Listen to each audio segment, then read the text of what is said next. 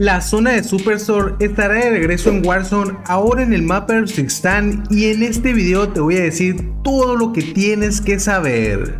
Así es gente, hace unas semanas se había confirmado que el mapa de Verdansk iba a ser retrasado y en su lugar el mapa de recibiría grandes cambios. Y el día de hoy se ha anunciado que el primero de estos cambios es que van a agregar una ubicación en donde tendremos de regreso la zona de Superstore.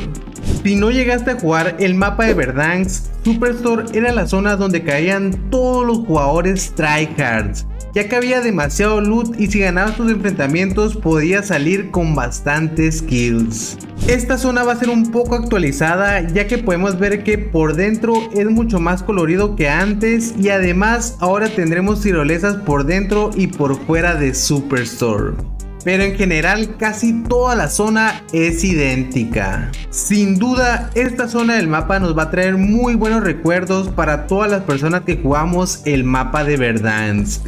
Y todo esto llegará el 24 de julio con la llegada de la nueva temporada 5.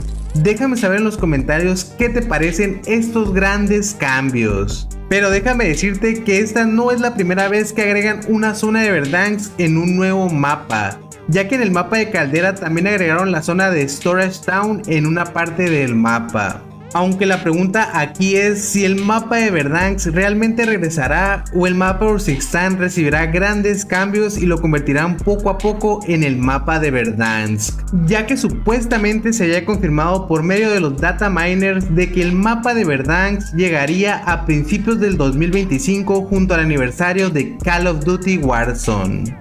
Déjame saber en los comentarios si te gustaría que regrese el mapa de Verdansk o prefieres el mapa Sixtan.